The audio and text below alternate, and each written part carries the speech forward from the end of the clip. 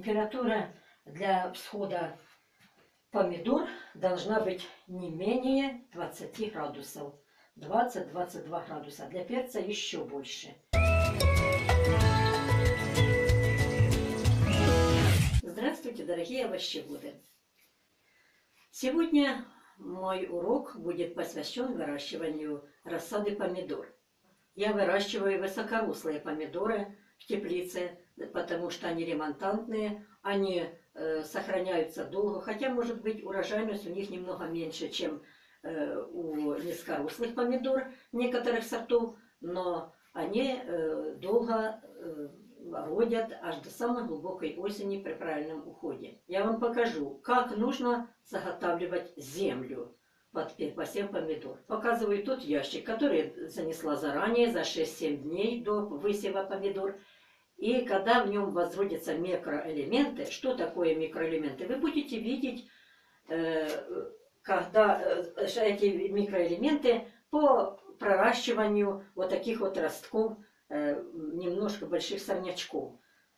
И сегодня для того, чтобы посеять помидоры, надо эта земля, она суховата, она и должна быть сухая. Мы сейчас пропольем его, ее. Но для того, чтобы полить, надо приготовить горячую воду, марганец и э, э, желательно и, или даже обязательно стеклянную посуду. И желательно, конечно, чтобы э, марганец вступал в реакцию из металлом. Вот смотрите, мы берем немножко насыпаем сюда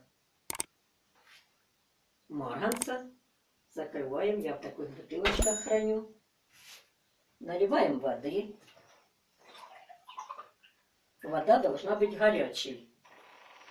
Марганец в этом случае не обязательно, он может быть и крепким марганцем. Это мы протравливаем землю для того, чтобы Э, не заводилась черная ножка.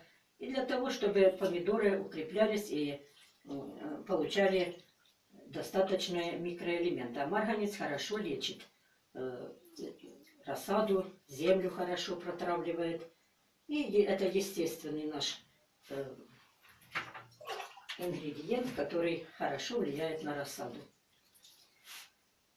Марганцем можно поливать Э, под посев рассады э, все, всю землю для каждого посева.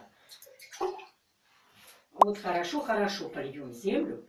Потом где-то она постоит час-два для того, чтобы укрепилась, э, ну, хорошо земля пропиталась влагой. И потом через это время мы будем сеять помидоры. Очень часто задают вопросы, говорят, почему вот надо, а можно вот так сделать, а можно так. Можно не пикированные помидоры садить, можно и перец не пикированный. Я вам скажу, да, можно. И мы покупаем на базаре рассаду хорошую, крепкую. Можем в конце уже мая садить, в основном садят в, э, в землю, уже в грунт садят в конце мая. Но э, я вам преподаю уроки такие, э, которые все вовремя надо делать. Этот и перец, и помидоры будут родить. И не пикированные. Но качество и время созревания играет очень важную роль. Чем раньше посеешь, тем раньше получишь урожай. Если учитывать, конечно, что некоторые, кто живет в северных районах, где климат суровый, нужно, конечно, высаживать пикированную помидору, помидоры и пикированный перец уже и с э, э, бутонами, с которые насчитывают 7 и больше настоящих листочков. А сегодня вот мы продолжим, после того, как наша земля пропитается, мы продолжим высевать помидоры. Вот сейчас мы нашу землю, она хорошо уже пропиталась влагой, мы ее сейчас берем, перемешиваем э, руками. Я это делаю руками. Ну, можно, если кто не хочет пачкать руки, можно надевать и перчатки или брать совочек, там какой-то э, инструмент. Можно инструментами работать. Но, знаете ли, инструмент это инструмент, а руки нужны везде. Я считаю, что руками это самая э, надежная уже обработка, самая надежная работа, это работа руками. Перемешали, выровняли землю хорошо. И скоро, после этого будем уже делать такие полосочки для посева помидор. Вот наша земля уже подготовлена. Мы ее разравниваем хорошо плиткой. Я беру плитку, мне очень удобно плиткой. Она ровная. Я разравниваю хорошо землю нашу, пере, уже пересеянную, перемолотую, политую марганцем. Вот хорошо разровняла. Теперь уплотнить можно немножко плиткой, вот так вот. Уплотняется. Желательно, чтобы ровная была плоскость, потому что там будет сохраняться влага, а дальше суховата земля. Поэтому надо стараться, чтобы земля была ровна, как планшетик.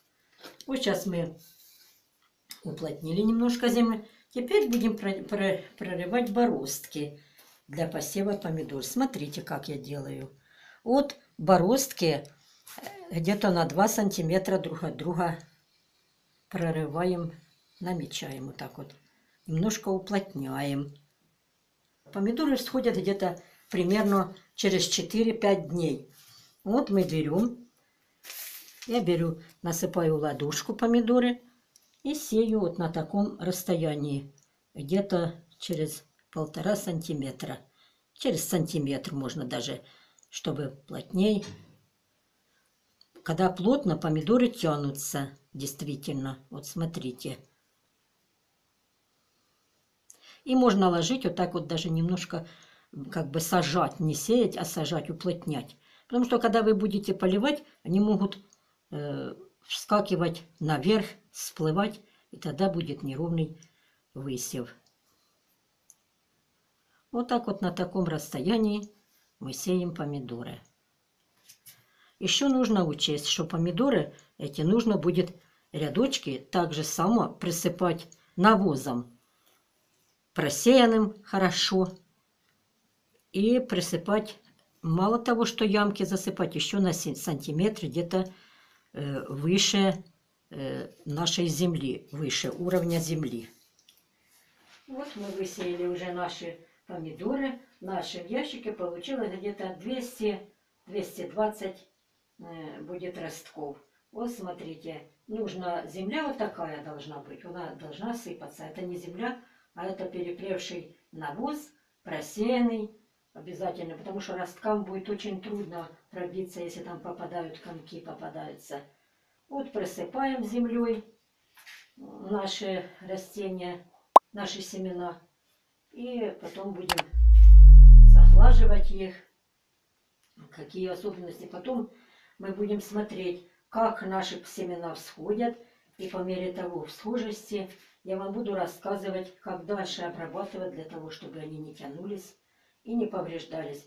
Моя задача, конечно, дорогие э, огородники, моя задача показать, э, как можно меньше употреблять всяких химических э, составов для того, чтобы вырастить экологически чистую, сравнительно экологически чистую продукцию.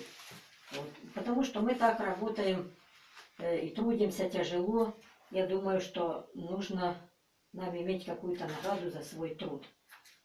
Если ты потрудился, ты должен получить не то, что продают в магазине. Вот мы сделали такие, такой присыпку. Вот, а теперь аккуратно, каким-нибудь, может быть, у вас будет лучше. Я, я привыкла, плиткой она абсолютно ровная, не деформируется. Вот я вот так вот заглаживаю. А теперь немножко уплотняю. Чуть-чуть, вот так, чуть-чуть. Уплотняю для того, что сейчас будем, когда мы польем, тогда еще уплотним. Вот. Я беру воду, поливаю уже эту землю, можно и без марганца поливать. Желательно поливать горячей водой.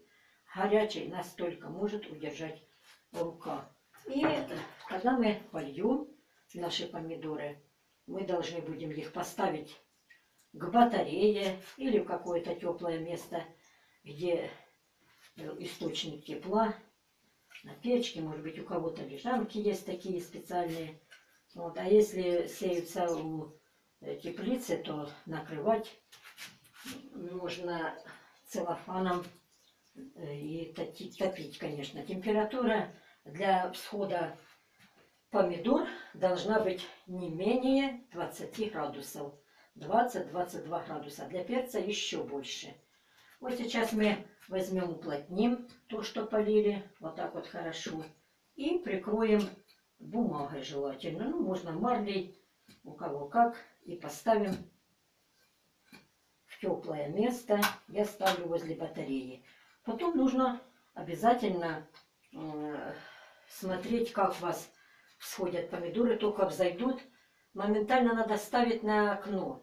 Только лишь зайдет росточек, попетляться, но до этого надо тоже и возле батареи нужно э, переворачивать помидоры. Э, Ящик переворачивать, потому что он может быть неравномерно всходить. Дорогие овощеводы, огородники, я представляю вам свою программу для того, чтобы у вас получилось лучше, чем у меня, или так, как у меня. Очень большое желание передать э, свои знания и опыт вам. Я хочу, чтобы вы меня поддержали, конечно, потому что наша, наш труд не настолько благодарно оценивается, как он стоит. Прошу подписываться на мой канал Калейдоскоп овощевода. Сегодня с вами была я, Лидия Бондарева, и мой канал. Спасибо вам за поддержку. До свидания. Всего доброго.